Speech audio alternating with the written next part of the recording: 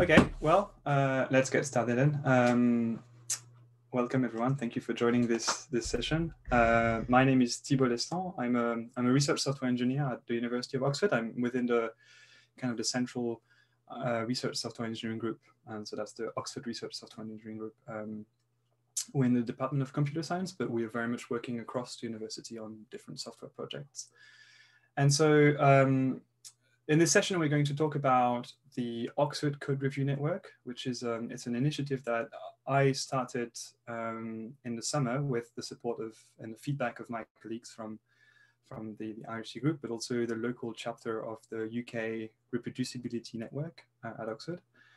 Um, and the, the aim of that initiative is to make it as easy as possible for researchers at Oxford to do code reviews together. Um, it's it started pretty well. Uh, we, we got a, a, lot of enthusiasm for that initiative, but slowly but surely it lost a bit of momentum. Uh, and so, kind of very selfishly, I wanted to do this workshop um, pretty much for you to kind of help me get like think about how I could get that network uh, back on its feet. And so, in particular, what I'm would be really happy to, to receive from you is uh, suggestions on what could be done differently to engage more researchers in participating in that network, and also what to do next. Um, and I will give you more details about that initiative. But that's really the, the goal of the of the workshop. And so in discussing this, I also hope that we can together exchange some ideas uh, that would be valuable not just for me, but for everyone um, on code review in academia in general, but also some practical ideas that you, some of you who would want to start similar uh, initiatives um, could use uh, maybe at your own institution. So um, there's a Google document uh, for this workshop. The link is in the chat. Um, you can, at any time you can ask questions. There's a questions sections right here, uh, which just moved. So feel free to write uh, your question there. You, you, can you can put your name first uh, if you want. You don't have to.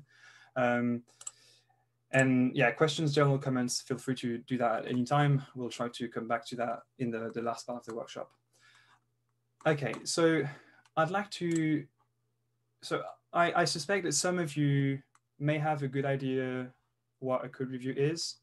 Um, and also some of you might not know uh, or, or, might not have experience in, in code review because code review is, is, actually quite a vague, vague term. So what I'd like to do is start with a, a little activity um, so that every one of you is in a good position to actually reflect on the choices that I've been doing for setting up the code review network. And so what I'd like you to do in, in the first um, five minutes, um, the next five minutes is to try and describe what comes to your mind when you hear code review. So in particular, um, what does it look like? So if you have to, if I were to ask you, can you draw a code review, what would you draw, right? Uh, who's involved? Is it is it maybe a supervisor and a student? Is it two colleagues? Is it a researcher and an RSE and several RSEs? Is it two people, more than two people, one person? Um, when is it happening? Um, is it something that happens once, maybe regularly? Is it before publishing a paper? Is it all throughout the research project, right?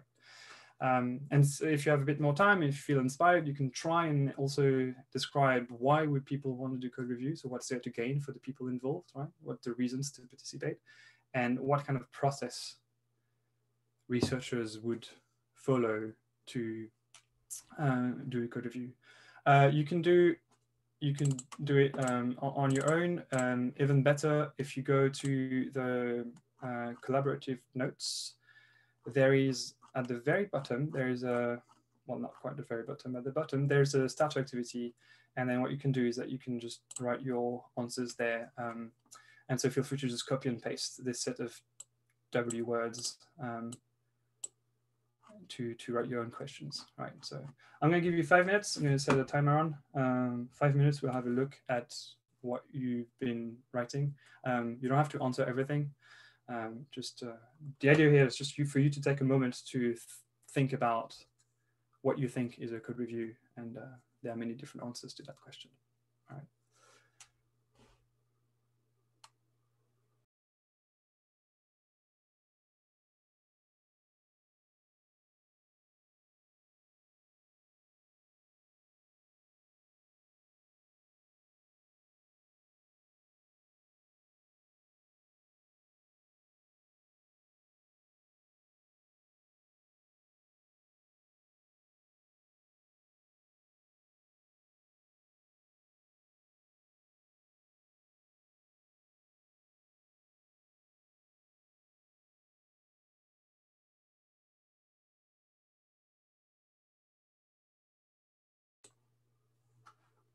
Yeah, just really to try and capture what comes to your mind, whatever it is. Um, there's there's no there's no right answer to that.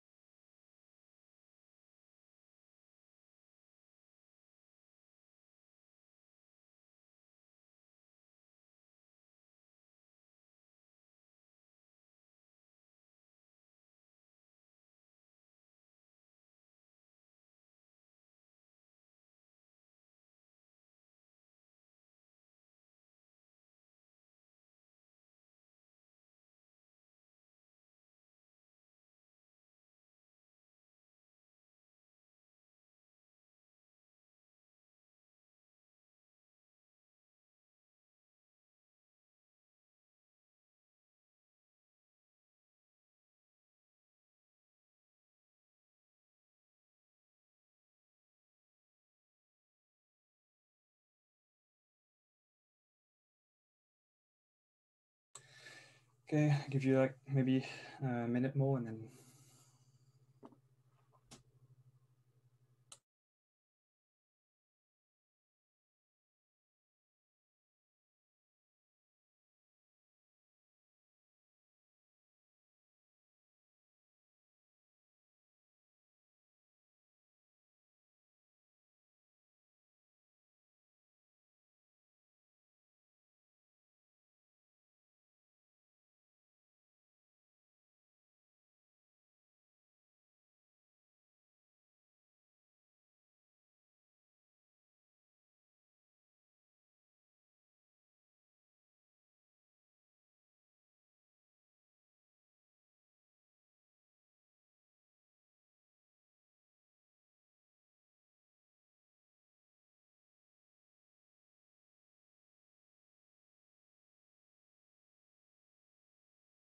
Okay, um, we don't have a lot of time, so I'll just go. Phil, if you want to continue writing, feel free to write write um, down your thoughts. Um, so the one thing we see here, there's a lot of different things that that comes up, um, different contexts. It could be, I think that that, that is quite recurring is is that a code review happens on when a pull request, for instance, when contributing to repo on GitHub and GitLab. Um, generally, we all agree that this is something that you, know, you somebody looking at somebody else's code. Um, in terms of who is uh, involved, um, yeah, it could be a supervisor or somebody with more experience looking at um, the code written by somebody with less experience to, to maybe teach and, and do quality insurance. Uh, it could be done in a meeting room, in person, or online video chat, as opposed to some kind of asynchronous discussion on, on GitHub. Um, pull request again, uh, pull request, and why, yeah, okay, quality insurance, code quality. Um, well, that's a good point. Ensure that satisfy objectives of the project. Um, so if you have very clear outcomes, you want to do a review in order to assess that outcomes have been met. Okay, so the, we're not going to go through this. Thank you very much for putting all of that down. It's really useful. Um, and you can, you can go in your own time. The one thing that we get out of this in this code review is quite diverse. There's a lot of ways that we could actually define a code review or the way it could go, and it's going to depend on the context, right? And so um, in order to set up that code review network, uh, I had to make make some assumptions into what a code review is. And so when um, when me personally, I have a code review in mind, this is what I'm imagining, right? This is um, uh, two two individuals, maybe more, uh, having a look at uh, some code and typically one of them is the author of the code and the others are reviewers and they're here to provide feedback on, on, on the code and especially the code quality. And so for the code review network, from the code review network perspective, right, it's not the, it's not the, this is not the definition of the code review, but from the, the code review network perspective, a definition of a code review is it's a short conversation over a short piece of code, right? Um, it's for everyone. So especially we want everyone to be able to review um, the ideas that we want it to be accessible um, because you, um, I don't think that you have to be a Python expert to review some Python code, right? Um, if you if you're actually a beginner in Python and you can understand the code, then this means that the code the code is actually really well written, probably, and that's really valuable feedback. So beginners have uh, can can review. That's important. It's happening throughout the duration of the project, not just at the time of the publication. So uh, regularly throughout the research project, code reviews are going on. And the reason why I, would like for this to happen more is because code review are, uh, it's a great way to actually improve software um, and particularly readability and, and therefore sustainability, right? Um, it's a it's a great learning opportunity for everyone, reviewers and reviewees. So it's about knowledge transfer potentially across disciplines and then as well, it's it's it's an opportunity for researchers to to talk about code, right, and to be open about their code, which is something that that is not we're not quite there yet. Uh, quite the opposite, in fact. Usually, code is kind of done in isolation. It's it's hard to get people trying to share their code and show the, their code to to each other. Um, so that's, that's that's the reason why. And so the idea of the code review network is to have this happen as regularly as possible between researchers across the University of Oxford. And so kind of the, the, the idea that, that I came up with is, is this, this code review network. And the, if I had to represent kind of success, uh, this is this is this, uh, if I can make it work. And so, you know, you have the University of Oxford, you have researchers, different profiles. Some of them are mostly experimenters, uh, theorists, um, um, data scientists, but they are in different departments, uh, but they regularly to just meet each other and do code reviews together, right? That's kind of the, the very end goal where I want to go. And so to facilitate this, um, there is a GitHub repository um, where if you are a researcher and you you you want you've got a piece of code that you'd like to be reviewed, then what you can do is you can open an issue uh, on that GitHub repository. And if you are now looking to be a reviewer, if you're a researcher and you want to review some code, you can just uh, leave a, a, comment on that issue, say that you'd like to review. So for instance, we can look at an example, um, which actually happened two days ago. Somebody came and uh, with, with a, a, little Python code and said, um, I have a very short query about a 15-line Python function. It shapes an array based on an integer that is passed into the function. And then this function is terribly inefficient. So I'd like to know a bit more like how, how I, would like you know another pair of eyes to look at my code. And so somebody came in and said, I'd be happy to review your, your code. And then they they found a time and place, well, online place to, to do the review together. So this is a kind of an online place for people to meet and then they go and do the review in their own time. And so um, there's been a couple of review happening, um, well, more than a couple. And so for mostly, you can see mostly Python, C++. And so it's people from Oxford that come and then say, I'm looking for a reviewer. And uh, again, people from Oxford that come and say, I can review, I'm happy to have a chat with you and review that code. And so in this repo, there's a little bit more than that. There's a lot of information about what is a review. Um, um, about events, about code review. There are code review guidelines to explain you know, what is the process of a code review for the code review network. Um, so there's a typical code review scenario, uh, a bit of information about the format of code reviews and then motivations, right? Incentives to what would you want to spend time doing this, and particularly uh, reviewing code. And then there's, there's how to get started because I suspect that not everybody is familiar with GitHub. So it's important that people who are not familiar with GitHub are at least able to open an issue. And then we have, um, there's some guidelines for reviewers, right? For people who are not experienced with reviewing, it's it can be very, very daunting actually to, you know, look at a code and say, well, what if I have nothing to say about this code? Uh, and so we have a list of things that reviewers could look for. So going from the very kind of low hanging fruits to more involved things. So like you start with code style, you know, is the code following a code style? If not, it would be a good idea. Are the variables and functions well named? Uh, and so we go down to complex if statements all the way to actually talking about performance, which is very far in the priority list. and then lastly, there's a, a little guide about how to best do remote code reviews. So about using Visual Studio Code and with the Live Share plugin, using tmate, um, and using a range of tools like, like Floobits um, to pair program and do code reviews. Okay, uh, and so just taking the time. Um, um, so that's that's the main place where people can go and meet and then uh, go and do code reviews. Um, so what happened with this? Well, uh, this repository that I just showed uh, went live, let's say, on in June 2020, so last summer. Um, I managed to secure some funding from the University of Oxford uh, through um, um, a lot of money that is dedicated to this kind of initiative.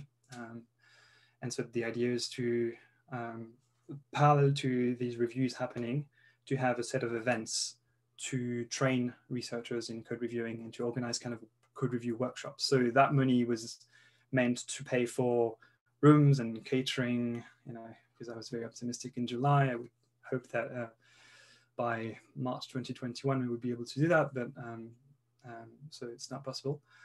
Um, but in July 2020, we had a virtual launch uh, to in introduce that network to the as much as much people as possible, as many people as possible in Oxford. Um, it was, I think, it was a success. We had about a little bit under 100 people attending, uh, which I think was good. And then in July, August, uh, a few reviews happened, most of which I showed uh, a little bit more than 10 reviews. Um, in August, this repo was actually forked by um, some people at the University of Manchester, which was really, really, pleased to, to, to see. So the initiative um, was actually duplicated. Um, but in September, the activity on the network kind of stalled a little bit um, and it, it, lost a little bit of its initial momentum. Um, and so again, uh, we can think of why this happened and what, what is possible to do next to actually um, get it back on its feet.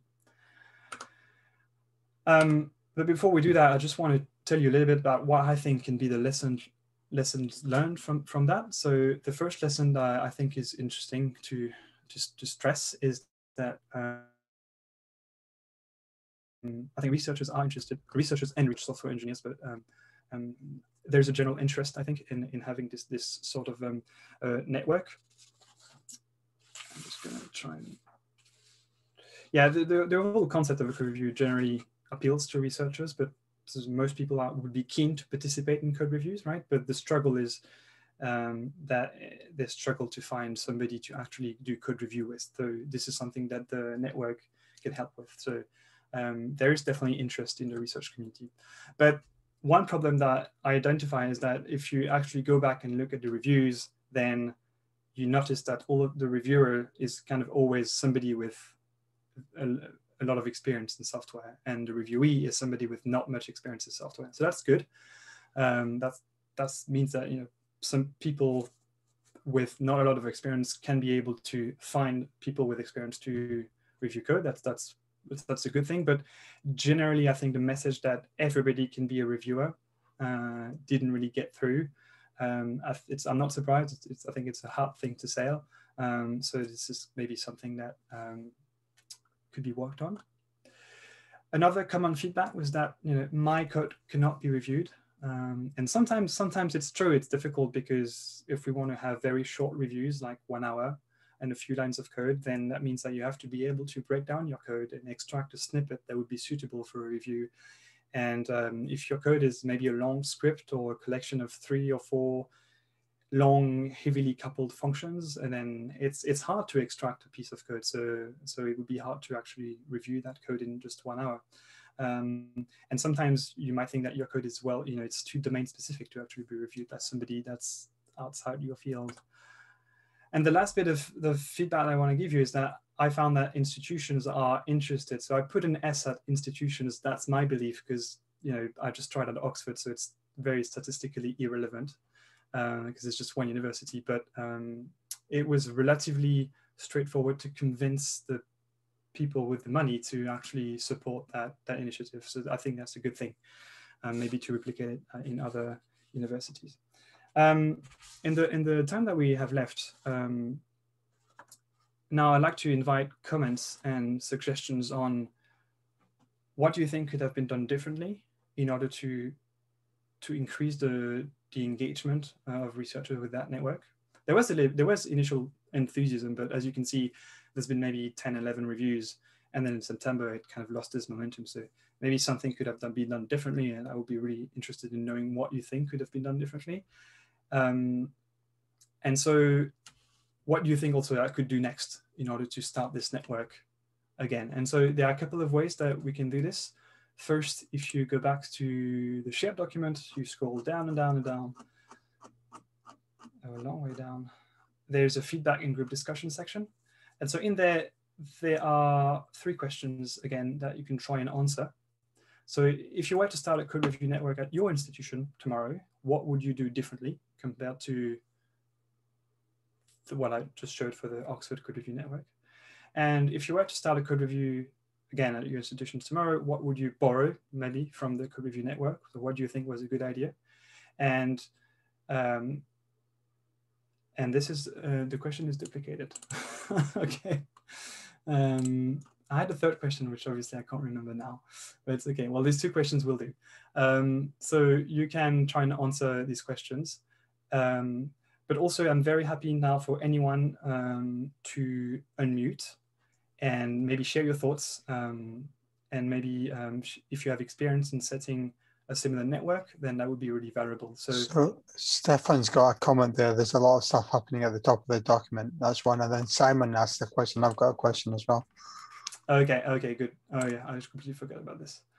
Um, so maybe we can go through the questions and then uh, try and have a, a, chat. We have about uh, seven minutes left, I think. I've, I've um, got my end up rather than okay, go, question. Go ahead. What the protocol um, so, so, basically, we have thought about exactly this. Um, we've talked about it quite a lot with the Southampton um, research software community. And the thing, the point where it almost stumbled, it was like the incentive for actually doing the review. There's an obvious incentive for having your code reviewed, but it was a way of like rewarding the reviewers. And we thought, well, thought lots of different things. You know, like you'd have a mutual benefit. You do a review, and you're going to get code reviews of your own. But that sort of that was the sort of travesty of the commons kind of i think killed that idea and and then could we have some form of credits you know and badging or anything like that and, and we never really got off the ground i think because we got so wrapped up in how to deal with the incentives so i mean do you feel like you're the incentives you're providing for the reviewers are strong enough and is that maybe the reason why it sort of sloped off a little no i think you're right i think that's one of the problems that we're having um, my idea is that when you review i mean I think we agree when you review, you also learn. For, it's it's good for you because you can go maybe in another department and, and learn from you know how you know how would a psychologist write some Python, and then you can write you can learn different things. But you have to be willing to to want to actually. It's it's a way to upgrade your skills, but it's hard to sell. I understand. I think that's the problem. That's one of the problem that that we've been having here as well. Well, fun. That's another question. Hello. Um, it seems like one of the one of the things that could be really challenging is is um, people just working in very different domains, and when reviewing the code, the the domain specific, you know, pretty much obscures any sort of obvious issues with the code itself, perhaps in certain cases. Um, what your comments on that were? Um, yeah, I mean, I'm happy to let anyone um, chat. Um, and so uh, for the code review network, it was a kind of a bold assumption, I think, uh, to think that anybody can review anybody anybody's code. I think in certain situations it is hard, but usually my thought were that if you have you, you can already bring a lot of value by looking at the code and say, I really don't understand what it is about. Um, you know, if it's you can say, well, I don't know what this mathematical method does but I kind of know the steps that your code is taking or this, this piece of code. I can tell you know, you're applying this method and then you're doing this to the data. I don't really know why you're doing this, but I, I can already see that you're doing this. So that means that already it's, it's, it's, it's already quite readable. And that's already not a given in many, many academic codes. So I think there's room for a kind of interdisciplinary code reviews. Um, it's a bit of a gamble, I admit. Um, but it's been one of my assumptions. something I was wondering about, sort of follow on from that, is whether or not, given given these really nice materials you've got in that uh, in that Git repo, whether or not that could almost be sort of a a blueprint by which um, individual research groups could set up a culture of review, reviewing where there's much more commonality in terms of domain knowledge. Yeah, uh, I think that's, to be honest, this is one thing that I'd like to do next. I think it would be easier to, to get it started because then you have people who know each other and who, who share a domain, right?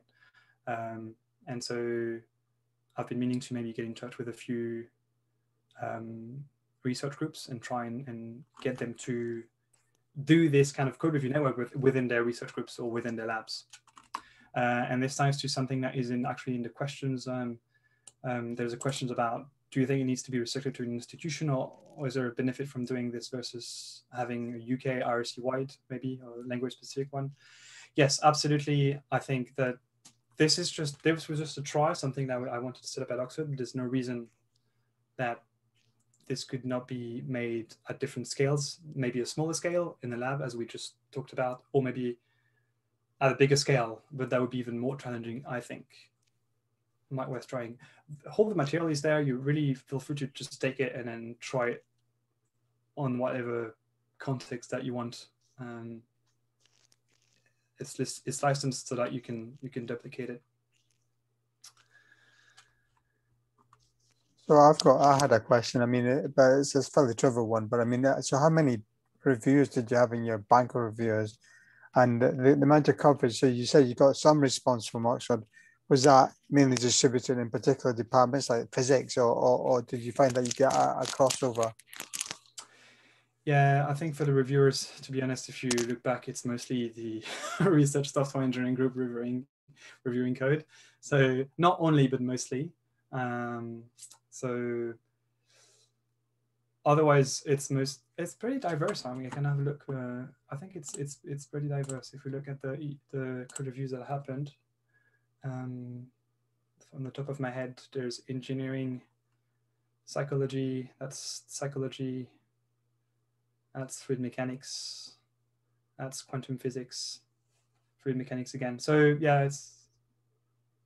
I think it's pretty diverse, but again, it, there's there's not there's not a lot, so um, it's hard to you know extract some conclusions out of that. But in terms of language, I think it's pretty clear. With no surprise. Um, I think we have time for maybe we have two minutes left. Um, I'll just go. Ah, it's okay. There's a lot of discussion there. We don't really have time for that. Um, so I appreciate that you want to keep the barrier low for potential reviewers to volunteer to review code. Do you also recognize it in some way? Oh, okay. Perhaps linking stronger to the network as a reviewer could help sustain the community. Yeah, get funding to pay, then even, yeah. Um, that's one approach. It's a valid approach. I think it would maybe even work better. Um, yeah, the assumption was that what actually tying back to what Simon said as a start, trying to make everyone be a reviewer to kind of get that message across that by you you gain almost as much by reviewing code. Um, and yeah, it's it's a, hard sell. But maybe maybe a solution would be to actually have a pool of reviewers, the committed reviewers, and then whoever wants to actually join them is free to, to do so. We just start thinking about going back. If we can all thank Hugh Bolt for his interesting workshop to a virtual thing. And uh, we all go back to the main room. Do people know how to get back to the main room? Thank you, everyone. I'll try to answer some of the questions in the document. Thanks Bye. very much. Thanks. Very interesting. Thanks.